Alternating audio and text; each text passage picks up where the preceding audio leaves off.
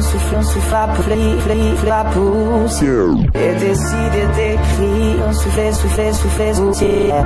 Qui, qui, qui, qui, il suffit d'une prière pour sécher les hier, pour sécher les larmes, déposer les armes. À l'aube, quand vient la lumière, combien rêve d'une voix